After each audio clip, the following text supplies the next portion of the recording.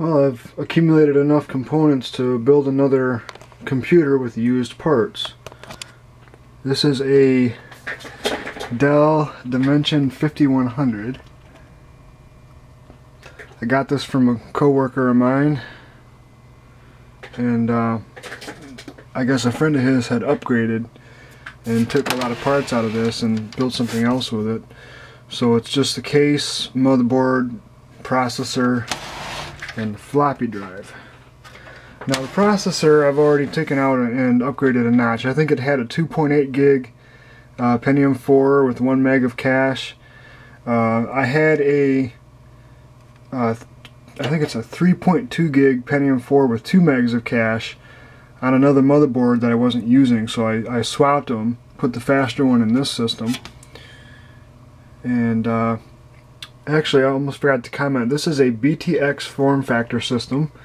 Basically an inverted version of ATX and you know you might not notice it at first but it's everything is the opposite of ATX normally you'd be working in the other side of the case. You know the drives would be over here and uh, the back of the motherboard be over here.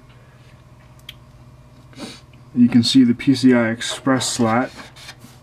Is actually you know everything is just kind of inverted I'm not used to working in a system like this. It's the first time I've, I've worked on a BTX based system. But anyway, I gotta see what I have here. I have a pair of LG DVD burners that came out of my main computer when I upgraded to SATA drives. I have a beat up old IBM DeskStar 250 gig SATA drive with a bunch of bad sectors, but it'll do the job temporarily.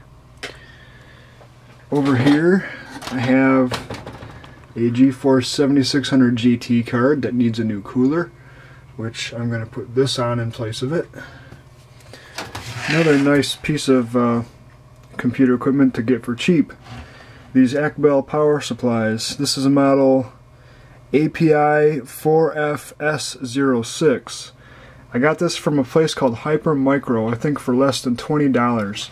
It's 550 watts and it was originally used in I think a Sun Java workstation. They're built like a tank, uh, weigh a ton. Let's see if I can look in here. There's actually two circuit boards stacked in there and this thing is just packed with components. I've had this apart. The capacitors are not top notch but the build quality certainly is so I'm not expecting any failures anytime soon. And for the price, you really can't complain. It even has a real fan grill. Nice unrestricted setup for airflow instead of those cheap punched out metal grills. My only complaint really is that there's no power switch on the back for when you want to shut the whole system off, uh, including the standby power to change things such as RAM or video card, stuff like that. But uh, I'll have to make a minor modification to the back of the case to get this to fit, and I'll show that in just a minute. Okay, I've got the power supply mounted in the case now.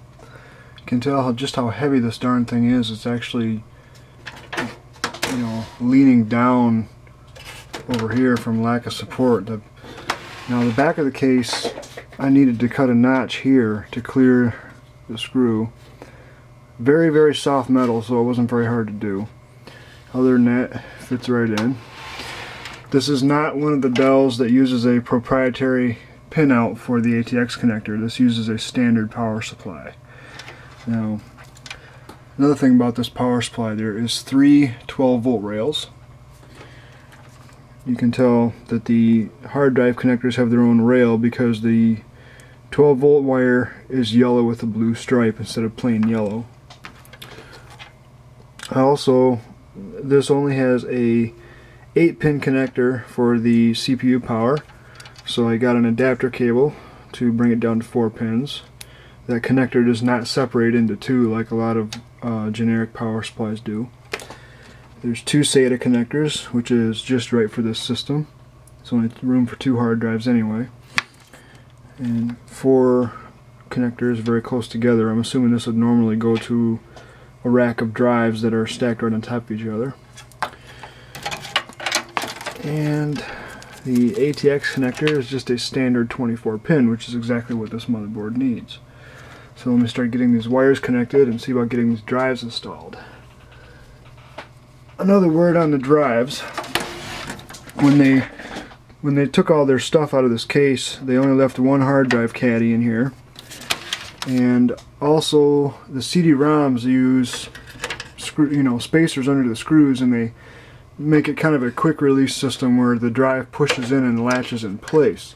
Since I don't have those spacers, I'm going to have to just use some normal screws and uh, try to get everything in there. What I did is I stuck the screws in the sides of drives and just left a little bit of space where the screw goes in that slot in the metal just enough to hold the drive in place and also be snug at the same time. So I'm going to pull this bezel off the front here. You got a tab here and a tab here. Sorry about the uh, focus there, it's kind of hard to do this all with one hand. Put one more tab. This bezel pulls right off. Now I'm going to slide these DVD drives in here and get these cables hooked up. Well, it wasn't easy, but I managed to get all the cables routed and connected. Got everything tucked out of the way power supply fits like a glove in this system, just like it's made for it. The only downside is the RAM slots are way back in there. Now for the RAM. what I have here is a 2 gigabyte kit uh, of Skill DDR2 800 RAM. This system only uses DDR2 533 memory, but the 800 memory will work just fine. Plus, I have the added benefit of this memory being useful in newer systems like my home theater computer. Uh, if anything ever happens with the Dell or I decide to upgrade to a faster motherboard, the memory will already be uh, perfect for a faster board. I already have this exact same kit installed in my home theater PC, so I know it's good stuff. Um, I'm not really familiar with G.Skill, but they seem to be getting pretty good ratings on Newegg, so I've bought a couple sets of these and haven't had any trouble with them so far. So I'm going to try and uh, get my big fat hands in there and get this RAM installed. On this motherboard, you probably can't tell, but there's four RAM slots. Two have black tabs on the sockets and two have white tabs. Uh, one channel is a matching pair of the same color tabs. So if you want to run uh, dual channel, or actually I, I, I said that wrong. Um, to run dual channel you need to have one stick of RAM in each socket of the same color. So in this case I'm going to put both sticks of RAM in the white sockets. That will allow dual channel operation. If you put one stick in the white socket and one stick in the black socket, the system will still work. You'll just lose a lot of memory bandwidth. So let me try and get this stuff in there. I found it much easier to lay the computer on its side to get that RAM in there. Not only did I have a lot better light, but it was just a lot easier physically to work with. But now you can see the RAM is installed in both white sockets. Ready to go.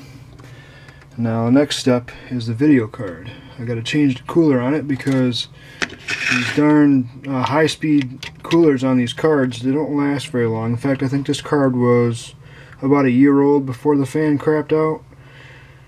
So I'm going to try and put this aftermarket cooler on there and get this mounted up.